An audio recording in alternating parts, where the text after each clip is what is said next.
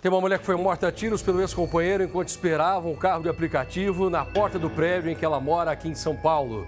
Curiosidade, esse prédio fica bem ao lado onde a Matsunaga tirou a vida do marido dela anos atrás. Agora, a mesma região volta a ser palco de um crime horrível. Põe no ar. A abordagem é fatal e com indícios de que pode ter sido planejada. Dentro do carro preto está José, um ex-marido inconformado com o fim do casamento. Ele aguarda na frente do prédio da ex a descida de Jussara. Ela pegaria um carro por aplicativo para ir trabalhar.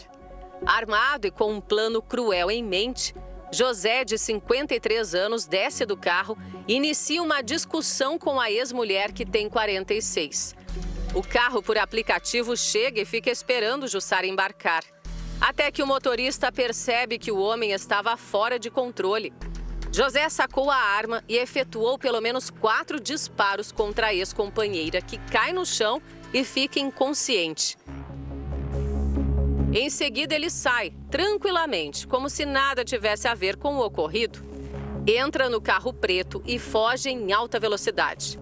Nesses vídeos exclusivos, é possível ver a vítima recebendo os primeiros socorros por um vizinho que é médico. Em seguida, ela é levada às pressas pelo resgate a um pronto-socorro, mas não resiste aos ferimentos.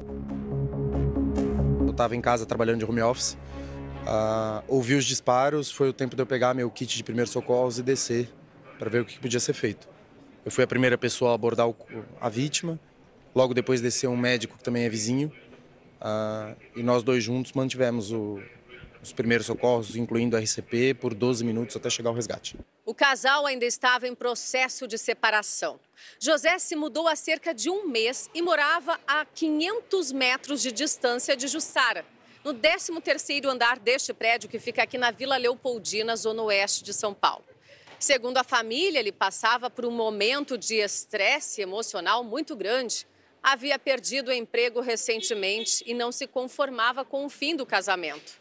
Mas ninguém imaginava que ele fosse capaz de cometer um ataque tão violento e covarde. Ele estava com alguma dificuldade com o banco que ele trabalhava em Minas Gerais.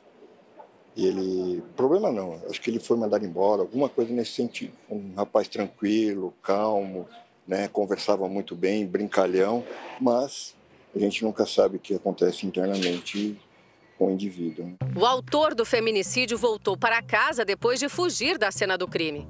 O grupo de ações táticas especiais é chamado e os negociadores do GAT iniciam um exaustivo trabalho de convencimento para que José se entregasse. O autor dos disparos fez exigências, pediu a presença da advogada e um contato telefônico da terapeuta. Para evitar que ele se jogasse pela janela, os policiais chegaram a escalar o prédio.